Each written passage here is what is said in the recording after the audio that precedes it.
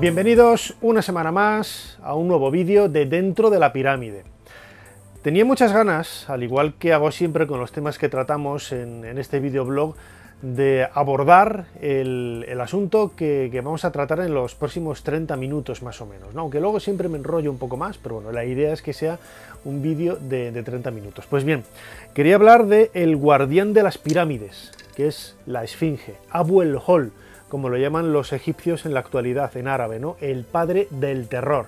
Esta es una esfinge que yo conservo con mucho cariño, que me la firmó hace muchos años Mark Lenner, el egiptólogo americano, que en una de sus visitas a Madrid, bueno, pues tuve la suerte de, estar con él. El tema de la esfinge yo lo he abordado en muchas ocasiones porque eh, hace casi 20 años publiqué este libro, El guardián de las pirámides. Es un libro ahora relativamente difícil de, de encontrar, pero que bueno, nos ayuda a acercarnos un poco no solamente a la historia más académica de la Esfinge, sino también a sus misterios, que es algo que a mí siempre me ha cautivado.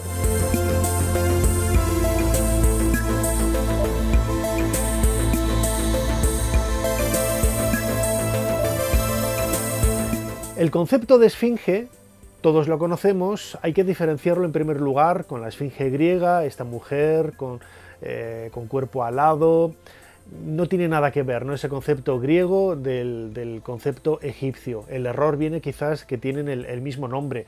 ¿De dónde viene ese nombre? Seguramente del término egipcio Sheshep Ang, que significa imagen viviente, que era uno de los calificativos que tenía el dios Atum una divinidad de Heliópolis, el lugar precisamente en donde se enmarca la Esfinge a la que vamos a dedicar este programa.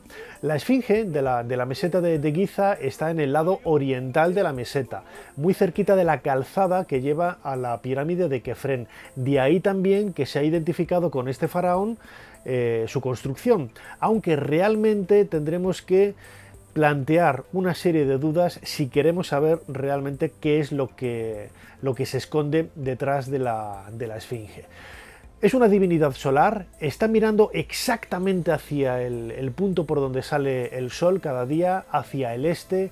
Yo no sé si algunos de vosotros habréis tenido la oportunidad en alguna ocasión de, visitar Egipto y sobre todo verlo con los primeros rayos del sol, ¿no? Y si es en los equinoccios ya ni te digo, porque el sol sale justo, justo frente al rostro de la esfinge.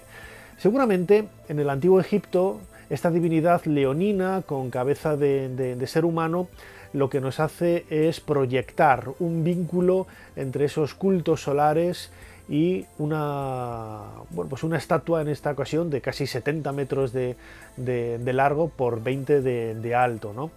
Eh, acabo de decir que es una representación animal de una divinidad de culto solar. La mayor parte de la información que tenemos de la Esfinge nos viene sobre todo a partir del Reino Nuevo, a partir del año 1400, grosso modo, cuando eh, bueno, pues Tutmosis IV, luego hablaremos de la estela del sueño que hay frente al cuerpo del león entre sus patas, nos cuenta una historia un tanto mitológica, pero que da información sobre quién es esa divinidad, quién es eh, esta suerte de león felino que tiene un aspecto quizás más divinizado por precisamente esos cultos solares con los que desde la antigüedad estaba, estaba vinculado. La especulación religiosa hizo que en muchas ocasiones los nombres de los dioses se fueran solapando unos con otros. En ese texto que decía de la estela del sueño se identifica a la esfinge con el dios Atum, que es un dios creador de Heliópolis, también tiene su acepción solar, eh, precisamente por esa orientación tan precisa, tan exacta hacia, hacia el este. Horem Haget, ese Horus en el horizonte, es también otra de las divinidades que se vincula con, la Esfinge, el dios Armakis. En definitiva, son muchos los dioses de vínculo solar los que están relacionados con la Esfinge. Lo que nos tiene que hacer ver que efectivamente era este culto solar lo que eh, garantizó su historia y sobre todo eh, convertirse en definitiva casi en un lugar de peregrinaje a lo largo de la historia. La esfinge surge a partir de una cantera, la cubeta sobre la que, sobre la que se puede ver hoy la esfinge, en realidad es una cantera, una antigua cantera de la que seguramente salió ese montículo de, piedra que los antiguos egipcios, por una pareidolia, identificaron con un león. Le añadieron unas patas con sillares de, piedra y a partir de ahí, bueno, pues eh, consiguieron esa escultura gigantesca que ha llegado hasta, hasta nuestros días. Antes decía ¿no? que en el Reino Nuevo sobre todo es cuando encontramos más información, porque hay muchas estelas que fueron ya excavadas en la primera mitad del siglo XX por Selim Hassan, que excavó el, recinto donde se encuentra la, esfinge, y ahí aparecieron sobre todo estelas de época ramésida, algunas de ellas las estáis viendo ahora en fotografías, que son muy llamativas, porque nos ayuda a ver el aspecto que tenía originalmente la Esfinge, pues hace prácticamente 3.500 años. Y hay que pensar, por ejemplo, que cuando Montujor mandó grabar este escriba de época ramésida, eh, una estela conmemorativa, votiva para la Esfinge, este monumento ya tenía más de mil años de antigüedad, por lo menos, ¿no? porque esa es una controversia también que vamos a hablar a continuación. Pero insisto, es muy llamativo ver cómo aparece no solamente representada la esfinge, sino también el paisaje de la meseta de Giza con esos triángulos que forman las pirámides. Las pirámides de Keops y de Kefren podemos intuir, la de, la de Micerinos queda fuera del espectro de visión del que grabó la, estela y no suele aparecer. Pero es muy llamativo, ¿no? porque nos ayuda a reconstruir el aspecto original que tenía este, este monumento. Como vimos en los eh, vídeos relacionados con la historia del arte, los eh, edificios en, la antigüedad estaban pintados en el antiguo Egipto. Bueno, pues nos tenemos que imaginar por los restos de color que han llegado también hasta nosotros, sobre todo en el rostro, de, color eh, sobre todo rojo, y algunos, bueno, algunos fragmentos de, de amarillo y de azul en el tocado Nemes, que es ese tocado egipcio, Sabemos, por algunas estelas y por los restos que han aparecido entre las patas en esas excavaciones que se han llevado a cabo en el siglo XX en la Esfinge, que había una barba, una larga barba. Hay un fragmento en el Museo Británico que siempre se dice, oh, a ver cuándo lo devuelven los ingleses. Bueno, ya, pero en el Museo del Cairo hay mucha más barba de la Esfinge y pasa desapercibida a todos los visitantes. ¿no? Estáis viendo ahora algunas imágenes de, de, esta, de esta barba eh, de esta imagen, incluso que aparece un, rey como presentando ofrendas a este, a este león y la cabeza de la cobra, la cabeza de la cobra que estaba en la frente del, león. Bueno, pues todo esto nos ayuda a reconstruir un poco el aspecto original que debió de tener la Esfinge pues hace prácticamente 4.500 años en el reino antiguo, cuando debió de de, excavarse, cuando debió de, construirse.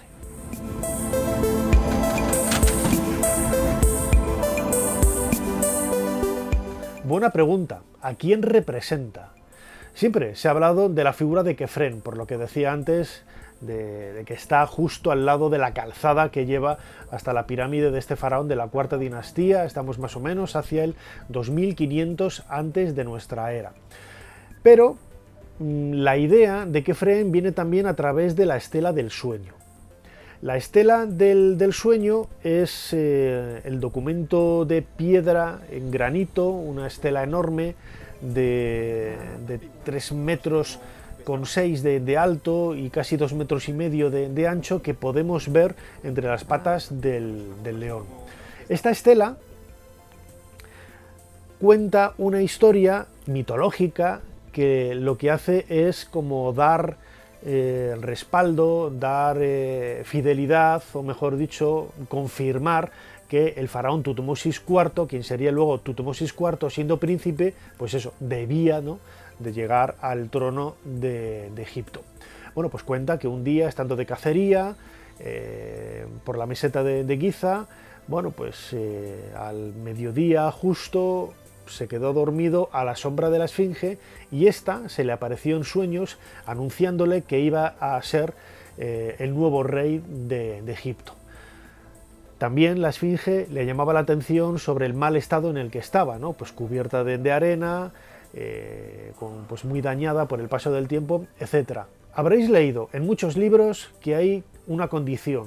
Si tú me destapas, si tú me quitas la arena que tengo encima, yo te haré faraón. Eso es una leyenda urbana. En el texto no aparece esa condición por ninguna parte.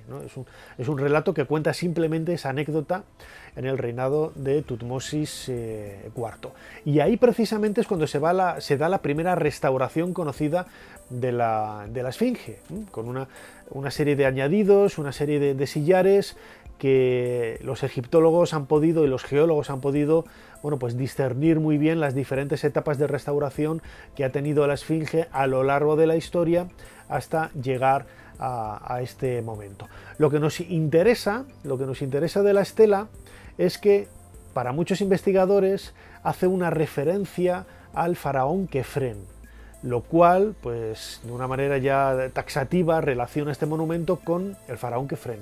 Sin embargo, esto es otra leyenda urbana, realmente, porque no hay, no hay ningún vestigio del nombre de Kefren en la estela. Cuando apareció, en el siglo XIX, bueno, pues eh, hubo varios copistas, eh, Thomas Young eh, hizo una copia, Howard Weiss hizo otra copia, de las 13 líneas que se conservaban, 13-14 líneas que se conservaban en aquella época de la estela. Hoy se conservan 12 porque el deterioro, la erosión ha hecho que esas dos últimas líneas que ah. estaban ya en aquella época muy deterioradas pues hayan acabado desapareciendo. Pero lo llamativo es que en la línea número 13, la decimotercera, aparecían unos ideogramas que formaban parte, la primera mitad, del nombre de Kefren, Haf, ¿eh? el horizonte y la F. Bien, cuando se tradujo posteriormente el texto, en esa laguna se colocó el nombre de Kefren.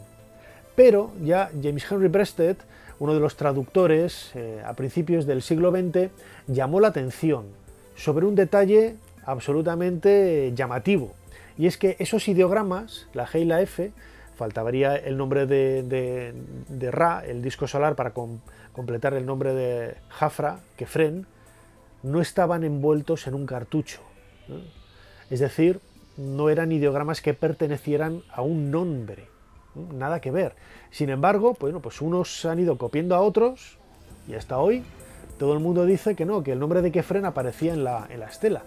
Y Brested ya traduce él como Kefren, dejándose llevar ¿no? por esta tradición, pero explica y matiza que realmente aunque él pone Kefren, no aparece el cartucho en, esos, en esas copias originales de las que él dispuso para poder realizar la, traducción. Si no pertenece a Kefren, ¿a quién pertenece? Bueno, pues la egiptología ahí no, se queda, no está muy de acuerdo, porque fijaos, eh, Rainer Stadelmann ya hace prácticamente 20 años, eh, falleció hace hace, poquito tiempo, este egiptólogo alemán que durante muchos años fue director del Instituto Arqueológico Alemán en el Cairo, una de las personas que mejor conoce el mundo de, las pirámides y el mundo en este caso de la, meseta de Giza, él planteó muchas dudas para eh, admitir que fuera Kefren el faraón que construyó la Esfinge. Dudas tipológicas. Si vemos las estatuas que conservamos del faraón Kefren, y las comparamos con el rostro y la, tipología del tocado Nemes, de la barba, de, todo, vemos que hay muchas diferencias, es absolutamente distinto. Bueno, pues ese tocado Nemes es distinto, no, tiene ese, rayado. Es decir, hay una serie de, elementos tipológicos que lo separan del faraón Kefren, pero lo acercan a la figura de Keops, es decir, el padre de Kefren. Por lo tanto, la esfinge podría ser más antigua de lo pensado, o incluso hay otros como Basile Drobev, un egiptólogo francés de origen húngaro, que señala que no, que incluso podría ser el faraón Yedefra, Diodefre, el que eh, hubiera construido, erigido, excavado esta, esta esfinge. Yodefre era uno de los hijos de Keops, uno de los sucesores también del faraón Keops, hermano de, de Kefren. Bueno, pues eh, vemos que dentro de, esta, de este margen, ¿no? de hacia el 2600, 2500 antes de nuestra era, se mueve un poco la polémica alrededor de la construcción de la, de la Esfinge. Cuando yo publiqué El Guardián de las Pirámides hace casi 20 años, ya hablaba de, una estela que aparece, eh, se conserva en el Museo del Cairo, está muy cerquita de la estatua de, de Kefren y que nos habla de, una manera indirecta de la Esfinge.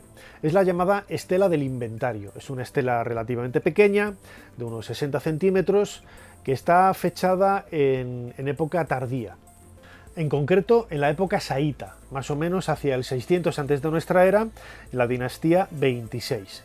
Bueno, pues esta estela fue descubierta por Auguste Mariette en el templo de Isis que hay en la esquina eh, sureste de la Gran Pirámide. Ahí, si os acercáis y dais una vuelta junto a las pirámides satélite de, de Keops, de la Gran Pirámide, vais a ver en un espacio relativamente pequeño abierto una columna. Una columna, estáis viendo ahora imágenes de este templo. Bueno, pues esos son los restos del templo de Isis en la meseta de Giza, en donde apareció la famosa estela del inventario.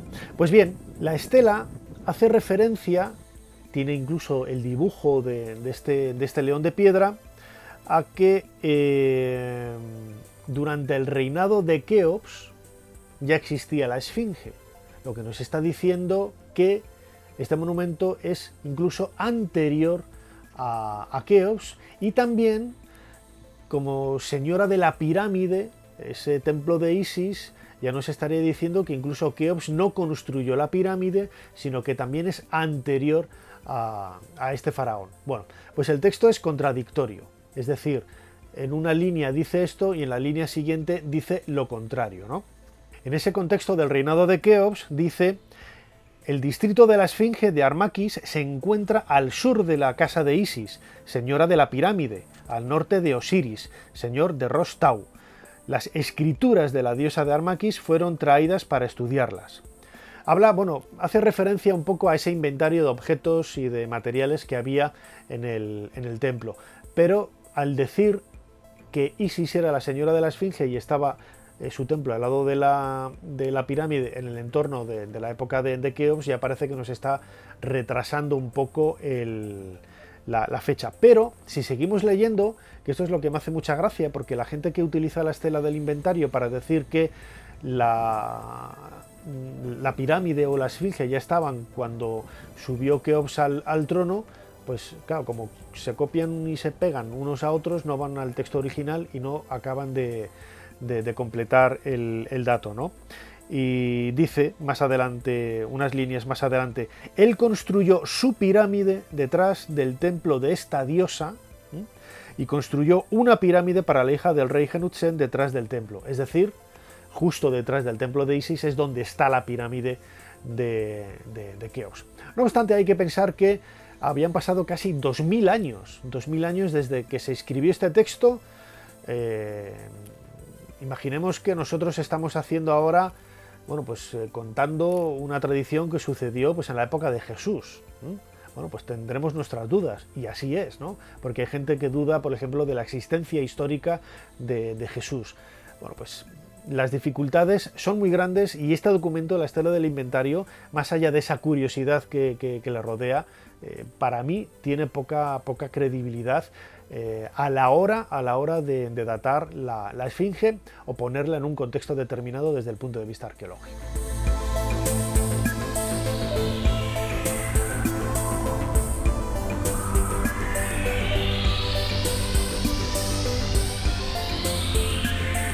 La teoría de la segunda esfinge nació hace décadas. Eh, Selim Hassan ya habla a mediados del siglo XX un poco de esta posibilidad. Y todo viene por la luneta que cubre la, estela del sueño. En ella vemos a Tutmosis IV presentando ofrendas a, a, dos esfinges, a dos esfinges que están dándose la espalda y que nos podría hacer pensar que realmente una de ellas es la, que hoy conocemos como la esfinge de la meseta de Giza y la otra sería pues otra esfinge que no sabemos dónde está. La búsqueda ha sido pues eh, insistente en los últimos años y no ha habido pues éxito en, este sentido. Eh, Basham el Samá, un buen amigo egipcio, eh, conferenciante, investigador, él planteó hace prácticamente dos décadas la posibilidad de, una segunda esfinge a través de, unas fotografías tomadas por satélite, donde se veía una serie de anomalías muy cerquita de la, esfinge, pero la verdad es que mm, esta investigación al final pues, encontró el, freno de, de las autoridades arqueológicas, que yo lo entiendo también y ahí les doy la razón, no había visos de, que realmente ahí pudiera haber algo, ¿no? porque el contexto arqueológico de, las tumbas que había alrededor, etcétera, y, la roca natural, la roca natural del, suelo, no parecía demostrar que allí hubiera una esfinge. Pero Selim Hassan fue un poco más allá, ¿no? Hay que pensar que la meseta de Giza, sobre todo en el primer milenio antes de nuestra era, es decir, casi 1500 años después de haber sido construida, fue un lugar de peregrinación vinculado al dios Osiris, el dios de la muerte, y que en todo aquello relacionado con, esos túneles subterráneos, eh, con, ese mundo del más allá, con esa tierra de, Rostau, el mundo de Socaris, que es la meseta de Saqqara, que está un poco más al sur, bueno, pues tenía pues mucha presencia. Selim Hassan vinculaba la Esfinge y la pirámide de Keops con la quinta hora del Amduat. El libro del Amduat es un libro funerario que aparece eh, en el Reino Nuevo, en el Imperio Nuevo, hacia el 1500 antes de nuestra era, grosso modo, y nos acerca a una descripción geográfica de ese más allá, donde en esta quinta hora, que es el periplo que tiene que hacer el Sol por esas horas de la noche, bueno, pues encontramos la descripción del reino de, Socaris, este, esta divinidad con cabeza de halcón, que es una divinidad del, más allá. Y precisamente aparecen como dos esfinges eh, dándose la espalda y en el centro una colina primigenia de la que surge un escarabajo que arrastra un, disco solar. Bueno, pues para Selim Hassan la meseta de Giza de alguna manera era una suerte de descripción gigantesca de esta geografía funeraria del, mundo del más allá. No es una cuestión baladí, eh, muchos eh, han planteado esta posibilidad ¿no? de que Mm, la esfinge sea algo más que una simple estatua. ¿no? Incluso Mark Lehner, cuando ha hecho estudios de, este monumento, eh, ha llegado a la conclusión de que la propia orientación hacia, hacia, hacia el este, hacia el, disco solar, nos está marcando de una manera muy firme ese vínculo del león de piedra con el sol. Pero ahí no queda eso, sino que en el lado derecho, en donde vemos una especie de cajetín de piedra que hoy no sabemos para, para qué podía utilizarse, Mark Lehner está convencido de que ahí había una suerte de estatua o de santuario, de capilla, de templete, que recibía exactamente los rayos del sol en ese momento del, amanecer en los equinoccios momento muy importante en el calendario eh, solar y en el calendario, en el calendario estelar de los, de los antiguos egipcios, y que podría conectar ese rayo de luz con la pirámide de Kefren que la tiene justo detrás. Bueno, pues este, este dibujo eh, planetario, eh, estelar, que, hace décadas sonaba absolutamente marciano, ¿no? Yo recuerdo en los años 60, yo no había nacido, pero lo he leído después, en los años 60, cuando se identifican los pasadizos que nacen de, las cámaras del rey y de la reina de la Gran Pirámide hacia una serie de estelas y, constelaciones determinadas, bueno, la gente pensaba, digo, vinculaba arqueastronomía con marcianos. Y nada que ver, nada que ver. ¿eh? Eh, hoy lo primero que hace un arqueólogo cuando se adentra a investigar un monumento es la orientación que tiene, la ubicación en el espacio y sobre todo, hablando en este caso de, culturas de la antigüedad, se centra en la arqueoastronomía, es decir, qué vínculo tenía este monumento, en este caso un león de piedra, con el firmamento, con las estrellas o con las constelaciones con las que se le han identificado que hoy algunos investigadores identifican la Esfinge con la constelación de Leo, pero es que eso es absurdo, porque en la época de la construcción de la Esfinge, la constelación de Leo nuestra era distinta a la suya.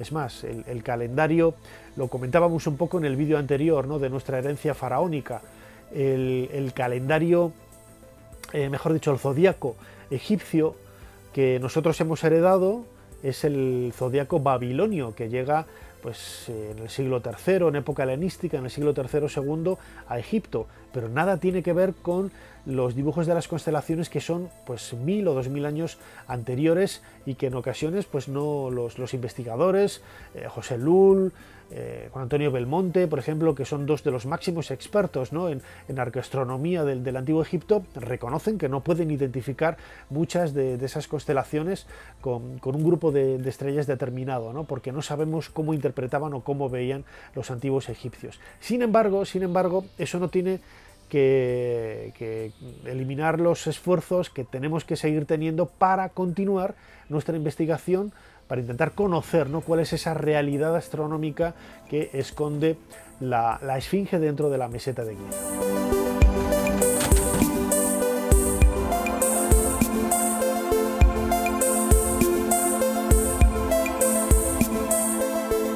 Hablar de la Esfinge es hablar de cámaras ocultas. Ya en el siglo XX, Edgar Casey, un visionario americano, dijo que al llegar al año 2000 iba a aparecer debajo de la Esfinge lo que él llamaba la sala de los archivos, ¿no? The Hall of Records, un lugar en donde iba a estar todo el conocimiento ancestral de la Atlántida. Y bueno, yo la verdad es que en todos esos años estuve muy pendiente de lo que sucedía allí, eh, al igual que ahora viajaba muchísimo a, Egipto eh, y no apareció absolutamente nada. Pero eso no quita que realmente bajo la Esfinge haya cámaras, podríamos decir, secretas, eh, ocultas, que van más allá de lo de Edgar Casey o de los planteamientos que han hecho organizaciones discretas como los Rosacruces, ¿no? que tienen algunos dibujos un tanto fantasiosos de la Esfinge con unas cámaras por debajo, con una suerte de salas columnadas, etc. Mm, absolutamente todo irreal, ¿no? Incluso en los últimos años se han realizado perforaciones recibiendo dinero y presión de, estas eh, sociedades, sobre todo de la Fundación Edgar Casey, y no ha aparecido absolutamente nada. ¿no? Y ahí están los agujeros con los trépanos que se han realizado en el interior y está todo publicado y, fotografiado y, no ha aparecido absolutamente nada. Pero eso no quita para que realmente en la Esfinge haya secretos, ¿no? haya bueno, pues algo que nos ayuda a intentar conocer cuál es el verdadero significado que tiene este, este león de, piedra. Hay una cámara que está justo detrás de la estela del sueño. Sabemos por las excavaciones de Baraís en los años 20 del siglo XX, en la década de 1920, que en el lateral eh, izquierdo del león había una, una cámara eh, Howard Weiss, en el siglo XIX, en 1837, buscando camaros ocultas, precisamente la esfinge, utilizó pólvora en algunos espacios y en el lomo y junto a la cabeza hay dos eh, oquedades. Pero, pero, lo más importante de todo, la cámara oculta que hoy incluso se puede ver desde fuera, pero que yo he tenido la suerte y la oportunidad de visitarla en varias ocasiones, está justo en la cola. Cuando Zahi Hawass y Mark Lenner estaban excavando en, la restauración precisamente de la, Esfinge en la década de 1970, bueno, pues llega el año 80 y hay uno de los obreros, Mohamed Abdel Maugoud Fayed, cuenta que cuando él era niño, trabajando para, para Baraís, este egiptólogo eh, francés, en el año 1926, dice que descubrió, que ahí apareció una suerte de de, pozo, de agujero junto a la cola, pero que luego se cubrió con un sillar de piedra y se olvidó. Bueno, pues eh, y Hawass empiezan a buscarlo y dan con ello. Dan con ello, eh, lo excavan, lo investigan, fue publicado en el año 1993 y lo que aparece en el interior seguramente sea pues el intento de alguien Quizá en el Imperio Nuevo, después del reinado de Tutmosis IV, a partir de esa época, donde la Esfinge recupera parte de la, gran importancia que, tenía en, la antigüedad, bueno, pues alguien quizás se debió intentar hacerse una tumba ahí o quiso hacer algo, no lo sabemos, ¿no? porque no hay, datos al respecto, pero sí que se ve un pozo que baja 4 metros, que tiene incluso algunas oquedades en, en las paredes a modo de peldaños para poder bajar y subir, y se introduce otros 4 metros en el interior de la, Esfinge. En total un pozo de 8 metros prácticamente, de un metro y, pico de, ancho, es muy angosto, que es como una suerte de, bodega en, la que, bueno, pues realmente no hay nada, porque eh, apenas está desbastado y que nos llama la atención precisamente por, por ese detalle tan, tan sugerente.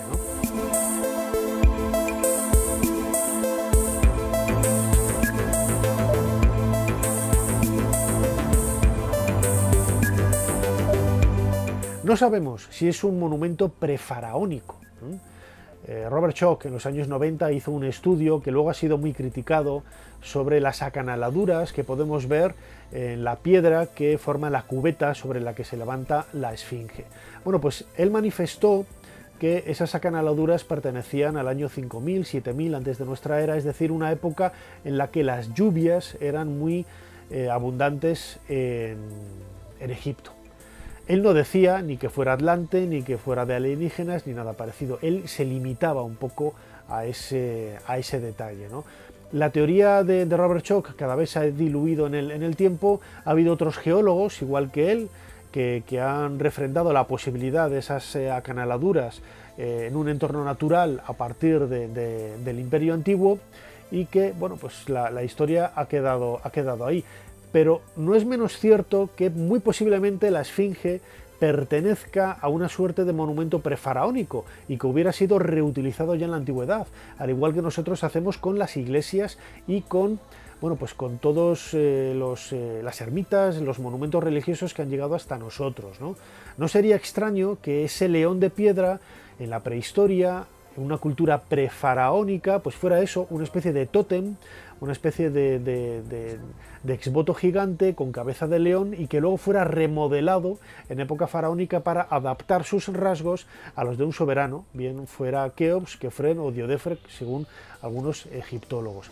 Esto explicaría por qué la cabeza es tan pequeña en relación a la proporción con el cuerpo y que además, como digo, pues, pues enlaza perfectamente con, esta idea tradicional de, la reutilización de monumentos eh, que nosotros, por ejemplo, con el cristianismo hemos hecho y que seguramente los egipcios, cuando el otro día, por ejemplo, hablaba en el vídeo anterior de nuestra herencia faraónica y hablaba precisamente de que ellos fueron los pioneros, los que crearon muchos, eh, bueno, muchas construcciones teológicas o religiosas que hoy seguimos utilizando, bueno, pues seguramente muchas de esas construcciones teológicas ellos las heredaran de una cultura anterior. No estoy hablando de la Atlántida ni de nada parecido, sino de poblaciones locales que luego, al crear un estado grande, ¿eh? hacia el 3000, 3100 a.C., unos tomarán de otros, de la tradición oral, muchos de esos aspectos y que poco a poco fueran remodelándolos a la nueva eh, religión osiriana, a la nueva religión solar,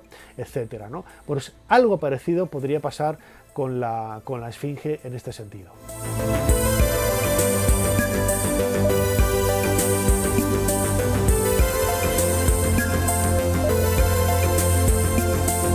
Para acabar, bueno, pues si tuviera que recomendar un libro, El guardián de las pirámides, lo decía al principio, ¿no? Es un trabajo que yo publiqué hace prácticamente 20 años, se puede encontrar en librerías de, segunda mano, intentaré hacer una revisión para reeditarlo porque me lo han pedido en varias ocasiones y es un libro que, bueno, pues recoge todas las investigaciones que se han realizado hasta, hasta hace 20 años en la, en la, Esfinge y sobre todo muchos de los aspectos que he querido compartir con vosotros en, estos minutos.